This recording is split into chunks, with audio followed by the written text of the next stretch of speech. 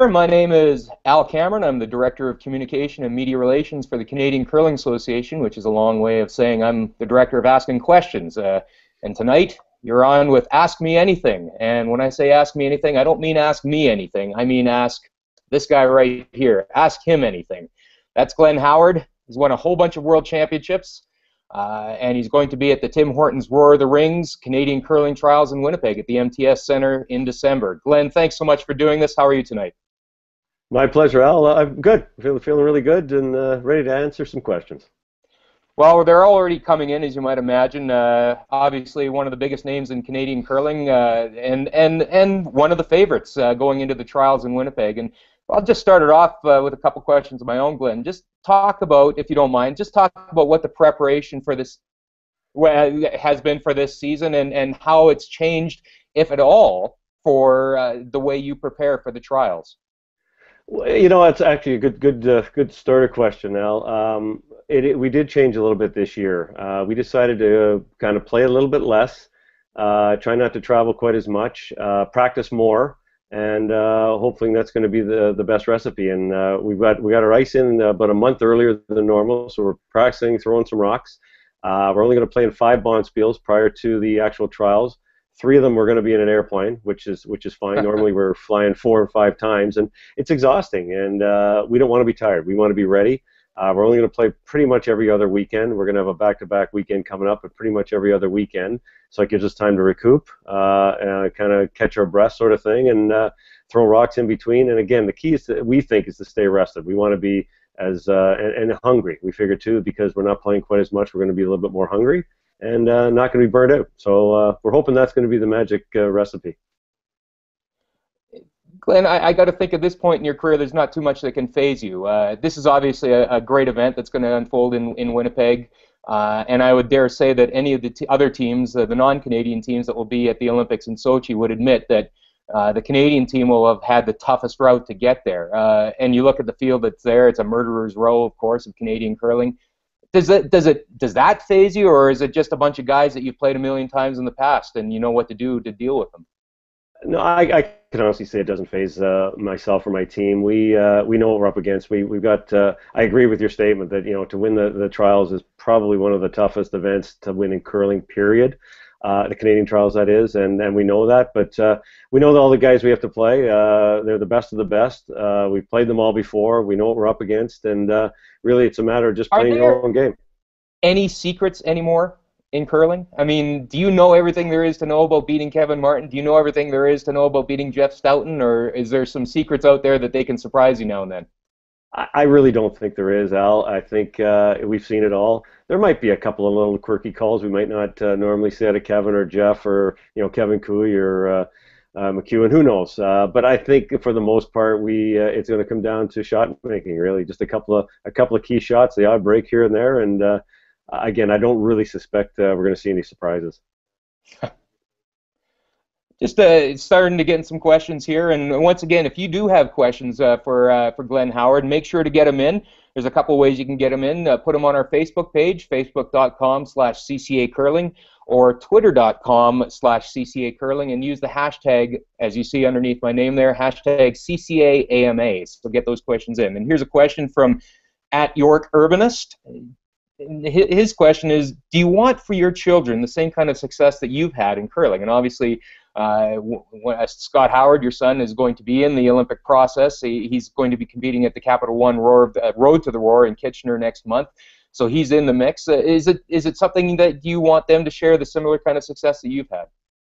I, you know, I'd, I'd love them to be able to uh, have those successes. Uh, really, what I, I just want them to have fun. I want them to go out and enjoy themselves. And it may be a bit of a cliche, but I really believe it. I, uh, I got two great kids, uh, Carly and Scott. They both love the game of curling, and I we just my wife and I just introduced them to the to the sport. We didn't know they were going to you know take it on uh, you know with uh, with a lot of uh, enthusiasm, but they have. Both of them are really good good curlers, and and they and they excel at it. And I'd love to see see their success and, and move on. But as long as they have fun, as long as they enjoy, they respect the game, respect their peers, respect their teammates, uh, go out and enjoy the sport for what it's about. And you know, obviously, I'd like to see them do well.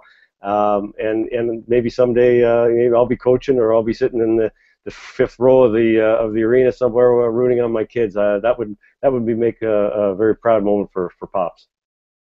Here's another one we just got in. Uh, what's the most bizarre question you've ever been asked in a media interview setting? I might have asked a few of them myself, so uh, you know, oh, guilty conscience. My. The most bizarre.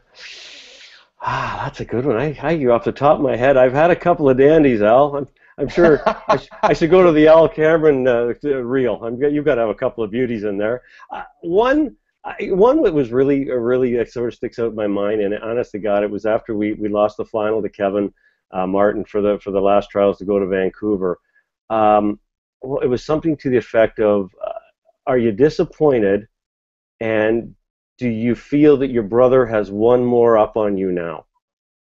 And I, I just, I, I remember, I, I, looked at the fella and I said, "You got to be kidding me! You just asked me that. I just lost one of the biggest games of my career, and you're asking me that question." And I, I just, I was so flabbergasted I couldn't even answer it. And I just said, "Really?" Like, so, you know, so I, I don't really think they were thinking. I think they knew the answer to that, but uh, yeah, you get some funny ones, and uh, I generally try to answer them all, but sometimes uh, it, it, it takes the words right out of my mouth. Well, I'm glad I'm uh, I'm guilt free, sort of. I think. that was uh, Here's another one. You know, this is an interesting one. You probably don't get an, asked an awful lot. Uh, you know, people would talk to you about the men's field. You look at the women's field in Winnipeg. Uh, who'd be your pick right now? Wow. Um, yeah. Good luck with that. Yeah. Good luck with that. It is a it is a really really strong field. As of right now, I think the hottest team on the planet is Sherry Middaugh. Uh, you know, they are coming out gangbusters. They've they've done. I think they played two or three spiels already. They won one. They they almost won one on the weekend. They're they're pretty hot. On the same token, uh, you can't count out uh, Jennifer Jones. She is a perennial. I think you're going to see her there her on on the weekend. Um, I don't want to diss any of the girls, but the other one and Rachel. I, I think of Rachel uh, Homan uh, pops in my head. They are they are so talented at a, such, such a young age, and they're they're a pleasure to watch. Uh, they're the three that kind of pop into my head right now. Again, no disrespect for the other ladies, but uh, I kind of see them at the end of the week. You know, I'm always fascinated talking to top level skips about uh, about this topic. Um, do you ever wish that you'd have a do-over on a on a shot that you missed over the years? I mean, uh, a lot of skips will say they don't look back; they they they park it right away and they don't worry about shots that they've missed in the past. Where do you stand on that sort of thing? Uh, I don't ever normally, Al. Um, the one shot that does pop into mind it is as recent as the last Brier. Uh, the shot I played against Jeff. Um, I, disappointed outcome. Uh, obviously, it was. I, we probably shouldn't have thrown it. Uh, you, you, know, I can I can premise it by we were we were two up without uh, playing the last end of the uh, one-two game in last year's Brier, and I ended up trying to make a double to end the game, and I just feather ticked one on the top of the 12, and Jeff drew for three to beat us. Uh, I think back, probably hindsight, we shouldn't have thrown the shot. That being said, uh, it was one of those ones you're making a ton of shots. Everything was confident. Everything was good. I felt I threw it well enough. As it turns out, I didn't. And I, you feel awful. You just feel awful that you, you sort of let down your team, your your club, your the whole nine yards. But uh, I guess that's probably the only one. There's other ones out there that you've missed that you, hey, that it happens. And uh, in this situation, we probably shouldn't have thrown it. But uh, you know, you live and you learn, and uh, you just get yourself, uh, you dust yourself off, get back on the proverbial horse, and, and do it all over again. And uh, other than that, yeah, you can't. You know, there's some shots that you probably shouldn't have played. It's played and you've made, or you've got some breaks, so you, you can't really worry about it. I'm really not worrying about it, but that is one that I probably shouldn't have thrown. Yeah, you know, uh, talking about shot making, uh, does it? I mean, as a fan of the sport, as a fan of players, it, it always occurs to me that people like you, people like Kevin Martin, people like John Morris. You know, you can name a bunch of names, but when you think about it, you compared to the rest of the planet, you have an ability to draw the lid 99 times out of 100 probably if you were really forced to that only a very few people on earth can do. Do you ever think in those terms just what a God-given gift it is that you have with a curling rock in your hands or does that get kind of uh, taking yourself too seriously? Yeah, I can honestly say I don't think that way, Al. Uh, I definitely don't want to take it that seriously. Um, I've just been blessed with uh, with good, good players around me. I've been blessed with uh, pretty good curling hands, I guess. Um, I just love the sport. I love to play, and uh, uh, yeah, no, I don't ever look at it that way. I just um, I just hope the heck I can keep making shots, and uh, I just do my best every time I go out there. I try 150% every single time I step in the hack. I'm focused all the time. I, uh, I I give it again. I give it all the time. I just don't I don't sit back. I don't rest on my laurels, and I don't take anybody lightly. I, I never have and, and never will. And uh, it's one of those things you just have to stay competitive. And uh, hopefully, I still have that draw weight for the for the remainder of the year. well, and the thing is, you've got three teammates who would bring you down pretty uh, to earth pretty quickly if you tried to take yourself too seriously. I'm sure. So, Amen. Those guys don't let you get away with anything. No. Hey, uh, another question we got in on our Facebook site, facebook.com slash CCA curling, uh, from uh, Kara, Dave, and Lydia Zukowicz. How much time do you spend curling non-competitively, like curling for fun? Yeah, that's a, that's a good question. I actually do more than probably the, the average competitive curler. Uh, we play. I actually play in a major league here at home. Uh, it's it's a pretty competitive team. It's myself, my wife Judy, who always plays lead, Wayne and Sherry Middaugh, and Wayne, Sherry, myself rotate amongst the uh, position. So one week I'm second, the next week I'm third, and the next week I'm skip, and we rotate, and my wife stays at lead. It's a competitive league, but it's not super serious. It's uh, obviously the fact that we're rotating, and we've been doing this for over 15 years. So not since uh, Wayne's joined the team. We we've uh, we were direct comp- uh, competitors. We played together in this major league uh, for years. I also play in several fun bonspiels, a lot of ch- a lot of charity bond bonspiels that I- I'm okay. Like I go out and I just love them out there, have some fun, enjoy the people uh, have a good time, and uh, it, it's really it's good for me and it's good for the game, uh, and it's good to get away from the competitive side just to uh, enjoy the game for what it is, as opposed to putting my uh, heart and soul into every shot that I normally do.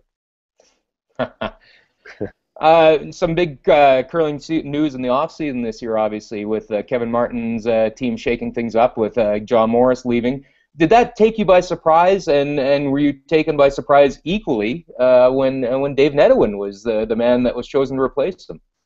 Uh, definitely, definitely the timing of it, uh, Al. Uh, I could kind of see the writing on the wall. It looked like maybe uh, that team wasn't going to stick together. I figured post this season. I did not expect it to happen prior to the trials. you know, with that on the line, obviously it just wasn't going to work out for the guys for them to to split up and go their separate ways. It that part was a surprise the Dave Nedohin one, uh, not at all. I, I kind of, I personally thought that was uh, uh, the fit that was going to work. I, I wasn't sure whether Dave was going to be into it. I, uh, you know, I wasn't sure what his his situation was on the curling circuit, but obviously he's uh, he feels it, it's it's going to be a good fit for them, and it, it did make sense. So that one wasn't a surprise by any stretch of the imagination. Another question we just got in from Twitter from uh, at Andrew Johnston two. Uh, his question is.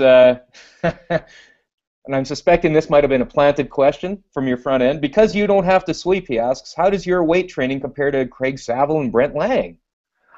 Well, clearly I'm the strongest on the team. Uh, I work out more than all of them, and uh, uh, you know it, it's it's a good question because I, a lot a lot of my training now is uh, I've got my own personal trainer, a fellow by the name of Mark Carencross, who's been a, a, a dream for me. I've worked with him for four years now, and uh, he is. I, I'm personally in the best shape I've been in, in in 25 years, and that's not saying I'm in great shape, but I'm in the better shape than I was. and uh, but it's it's part of it is is longevity. I I, I want to play. I wanted to play this game a lot longer. I've got a, I have a bit of a, a wonky knee at times, and the stronger I can keep my legs and my core and uh, and and everything sort of strong, uh, it's not going to let me down. And I've noticed the the improvement in my my body and, and how I feel on the ice. I'm not as tired. I'm stronger, and uh, and I'm I'm in my 50s now, so I, I know that it's uh, it's it's harder to kind of maintain that sort of uh, physical you know prowess, and uh, I, I'm proud of the fact that I'm able to do it. And and the other side of the coin is for for health uh, in general, not just curling. Just I feel better, and uh, it it's uh, it's nice to to have that feeling now that you've got a little bit more energy as you get older, and uh, uh, you know who knows, maybe I can keep plugging away at this game a little longer. We got a question from a, a, very familiar face to Canadian curling fans, Johnny the Hammer Chow. Oh. He's asking you if you if he somehow gets voted into the Skins game, the TSN Skins game, would you be tempted to draft him? And I think there's only one answer to this question. No, absolutely not. I, uh, you know what? You never know. I, I, I actually, I, yes, I have seen him curl before, and you know what? The answer is still no. Hey, we got uh, just uh, letting uh, Brianna Yetman know that yes, we can see your comments below the video, and you can get your questions into us that way as well. But uh, once again, if you got questions for Glenn Howard, a couple main ways to do it. Uh, go to our Facebook site, facebook.com slash CCA curling, or twitter.com slash CCA curling. Use the hashtag hashtag CCA AMA. And once again, we're joined by Glenn Howard tonight. Uh, Glenn, we got a, a, bit of a treat here for you tonight. Uh, I'm not sure you're aware, but uh, there are new uniforms that will be used at the trials this year, and we're actually going to show them off for the first time here tonight. This will be your uniform at the at the trials. I think that's going to be a great looking uniform. Ah, uh, how good! Look at look at the abs. Look well, at that six, yeah, that six pack. Saying, that's a splendid look for you. Do you have a backstory on that particular picture? you should. That is the uh, the the the, the superhero for Weedman. In, in, as it turns out, all these years I have been the superhero at Weedman, and uh, I was just unmasked. I was unmasked, and uh, people now know that I've I've been him. I've been hiding behind that mask for years now. you know, Jordan Kiss at at last name is Kiss 2M has a question. Uh, we talked about uh, the move with Dave Nedohin joining uh, Kevin Martin's team.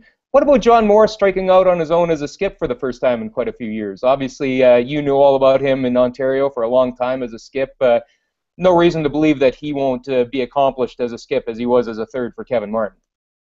Oh, I think uh, there's there's no question in my mind. John uh, John is John is a versatile curler. He could play any position. He was one of the best skips in Ontario when uh, when he was playing here. And then of course he moved away and uh, became probably the best third for for many years on on the planet. And uh, he's re- that versatile. He'll be back skipping. I think you're going to see he's going to do a lot of damage this year. The question is going to be whether they're going to get enough games in uh, to know each other's sort of idiosyncrasies and uh, getting used to each other. So I'm, I'm going to assume they're going to play quite a bit uh, leading up to the pre-trials.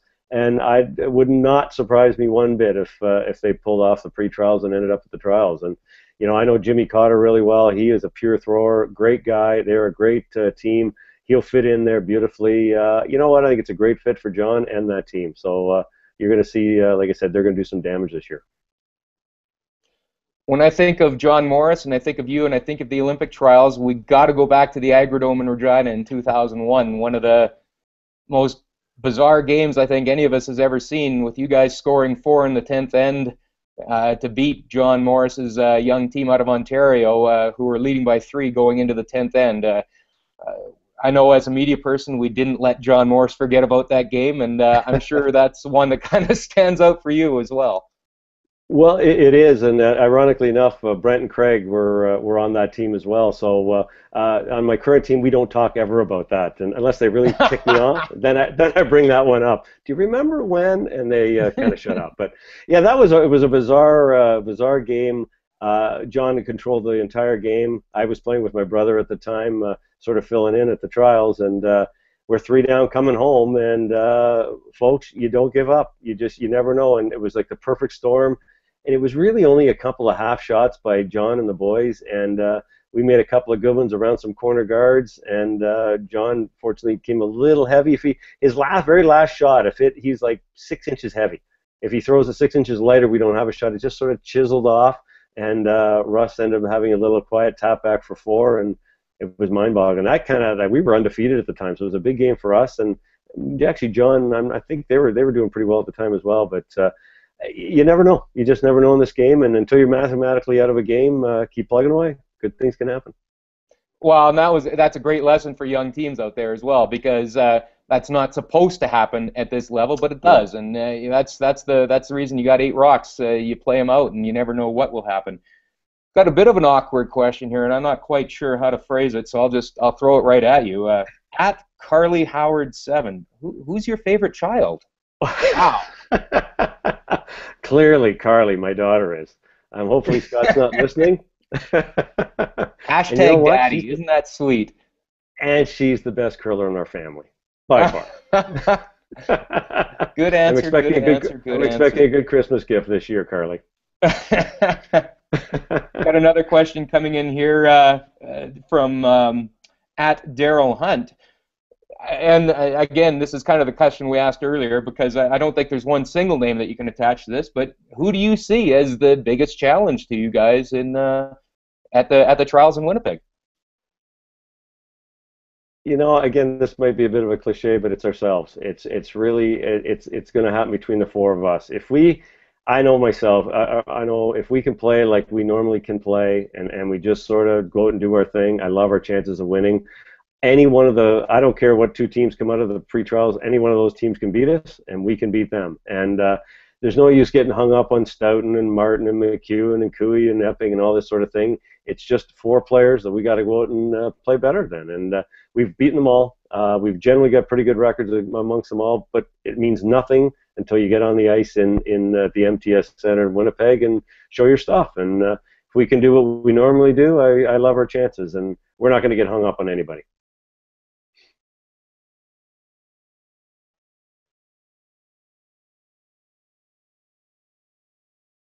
I've lost you, Al.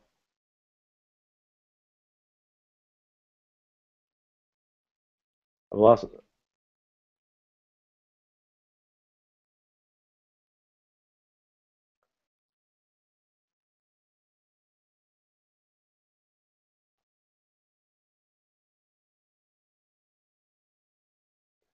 Sorry, Al. I've uh, I see I see your lips moving, but I haven't heard. I couldn't hear a word uh, you said. I've lost sound.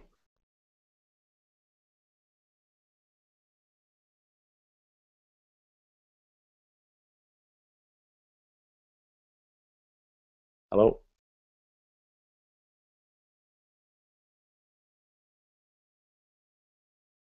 And uh, we'll go from there. But uh, let me know when I come back on the line here.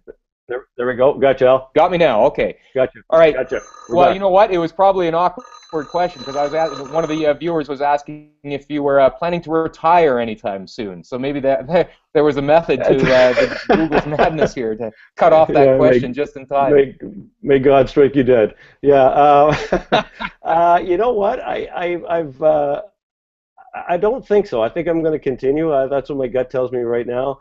Uh, really, and, and a lot of people ask me that. Uh, you know, it, does it depend on how well you do at the trials? Absolutely not. It has nothing to do with how I do at the trials, the Brier, whatever. It really comes down to enjoyment of the game. If I get out of bed and I want to go throw rocks and I want to compete and play with my buddies and this sort of thing, if it comes to the point where I don't want to do that, that's time to retire and uh, and or you know physical conditioning this sort of thing and everything right now feels great the body feels good my mind is is great i love the sport i still have fun as long as that's going to uh, it's going to be that way i'm going to continue to play and my gut tells me right now i'm going to keep playing so uh, uh, yeah we'll see what happens Got another question from Facebook, and I apologize if I pronounced the name wrong. Uh, Dalton Luanpo. I already know the answer to this, but you can uh, give your sponsor a plug here. What is your preferred brush head? Oh, bar none, uh, the EQ head from BalancePlus. Uh, I think it's uh, it is the best, even for skips. We can drag, I can drag rocks a foot farther than anybody else now with that EQ head. It's, it is. It's it's uh, the technology is there. It's it's uh, it, it just I've noticed it uh, remarkably when since we started using those a few years ago. Uh, I can notice noticeably see how they're they're holding the rock straighter, and uh, the boys think that they're bringing it a little bit further. So obviously that degree of uh, degree of error now is bigger. It gives us a better chance to make shots, and uh, I think it's an advantage. I, I really believe everybody should be out there trying them. BalancePlus EQ heads, love them.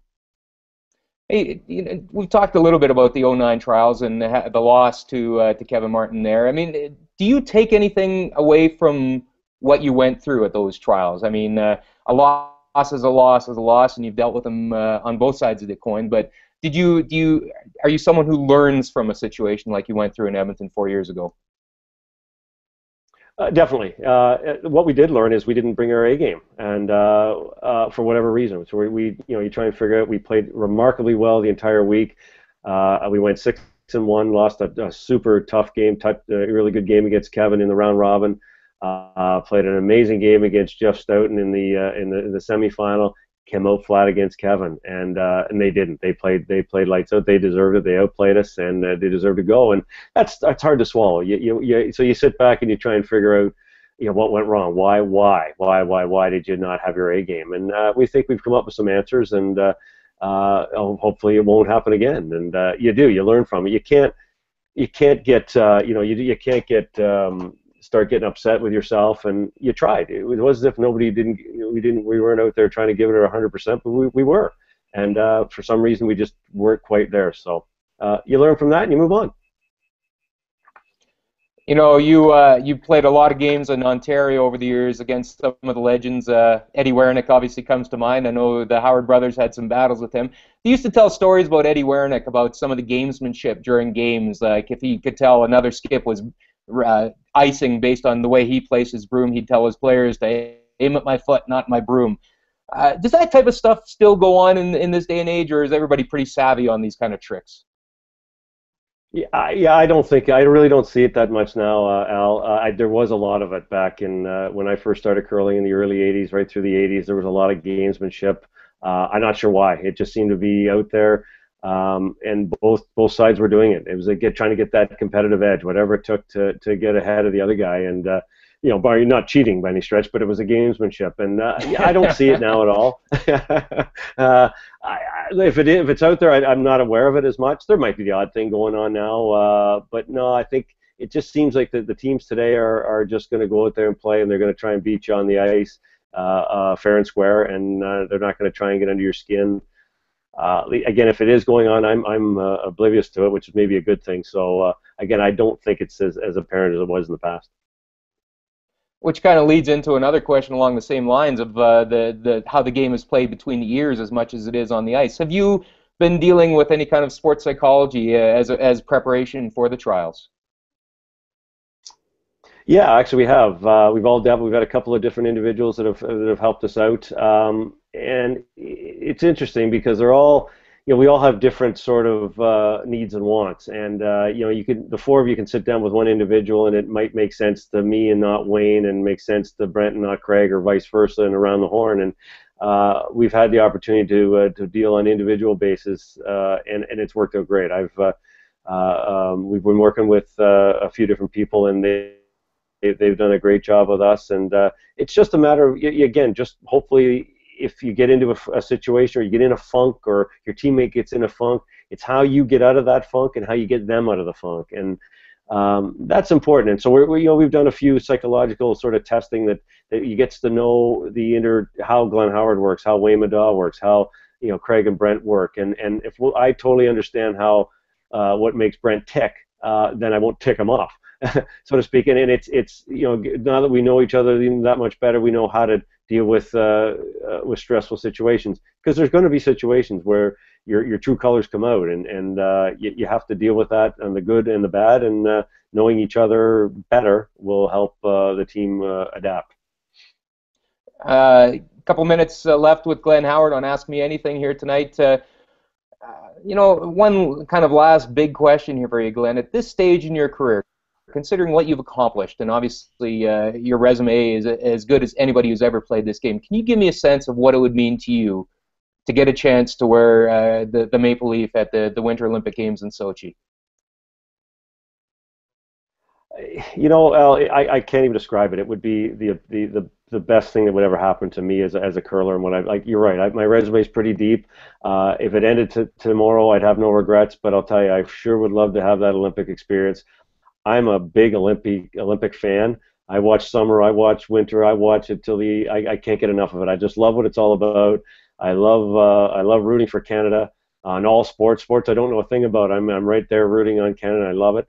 I would just give my right arm to be a part of that, uh, to just to experience it, and obviously to put the maple leaf in your back. Uh, I've had the the the uh, privilege of having that on my back four times as a as a Brier winner and, and representing it at the World. There's nothing like it. It is just you know people talk about the uh, you know the the the, pride that you have when you stand on the podium and they play your national anthem and you got that maple leaf. It, it is unbelievable. It just it, it brings shivers to me uh, and shivers down my spine. And uh, to to experience that at Olympics would be tenfold. Uh, so yeah, it's it would be the best thing uh, that I could ever happen to ask for. We're we're going to strive really hard to try and get there, and uh, hopefully I can experience that a few months from now. One last question from the fans here. Uh, uh, a couple more. What? Two more questions. Uh, first of all, just with regards to the trials process, considering a lot of other countries have, have determined their process and determined their teams, do you think uh, it's any kind of advantage or disadvantage for, for Team Canada not to be mentioned until two months before the Olympics? And that question comes from Joseph Brown. Well, that's a great question, Joseph. Um, it, I, I kind of like the situation. It, there's there's pros and cons to both. Um, I think what I do like about the fact uh, of, of Canada is, you know, you're, you're, you're hungry. All these eight teams or 16 teams, you include the women, uh, these 16 teams are super hungry to win this. They're going to do everything they possibly can to prepare. You, you can't leave uh, uh, you can't leave anything in the bag. You got to go out and give it your all. And if you win, whoever the team that wins in December are going to be on such a high and so pumped that they're going to be so ready for Sochi. It's it's unbelievable. Whereas I, I think back, if I was told I, I was the Olympic team back in April, sure you prepare, but you just don't have that fire. You don't have that drive to go. I don't I don't believe it, and I think that's why Canadians we do well because uh, uh, you know our, our Olympic runs have been very good, and I think you'll you'll see that uh, continue because we we've got the drive and the desire to go. Um, on the other side of the coin, it, it's tough to have that one game. Uh, I know that you know that's uh, you know one game you know decides it all. Would have been maybe a two out of three, might be better. But the bottom line is, what I'll, I'll go back to the team that wins is ready, they're prepared, they're on a high, go at it. And I think uh, there's nothing better when you ride that high and, and you and you move on. And the best thing I can equate it to is the world. We win the Brier, we are on the top of the world. Have at it, bring on the world. We're ready to go. And a month later, three weeks, whatever the case may be, you're ready and you're and you're pumped and you're excited. And uh, I think that's huge to ride that ride that wave. Yeah, well, it's uh, you can't argue with success. Uh, eight medal opportunities at the Olympics, eight medals, so that speaks highly. Last question tonight from at Carolyn Mathers. What are you getting your favorite daughter for her birthday? Hashtag think expensive. wow, I can see a lot of questions oh that in here tonight. God. That is unbelievable, Carly. Are you kidding me? Um, you know, you, know, what? what? It should be a surprise. don't don't she, let it out yet, Glenn. It should be a surprise. Well, I'll, I'll tell you, she's been she's been spoiled for 20 years. I think we're going to give up no no gifts at Christmas this year. She should nice. should just get a hug from her father. That's that's the perfect gift. Hey, Glenn, I can't thank you enough for tonight. This was uh, real fun uh, talking with you in advance. Uh, once more, uh, just a reminder that you'll be able to see Glenn, obviously, at the Tim Hortons Roar of the Rings Canadian Curling Trials at the MTS Center in Winnipeg. Uh, go to www.curling.ca to get your tickets. Uh, Glenn, thanks so much. Best of luck for the rest of the season. We'll see you down the road in Winnipeg. My pleasure. Great chatting with you, Al. Thank you. All right, best of luck. Thanks, everybody, for joining us. We'll be back with CCA Ask Me Anything. Uh, we'll have another curler lined up for uh, next week, and stay tuned right here on uh, CCA at curling.ca. You'll find more details. And thanks so much for everybody participating, and have a great night.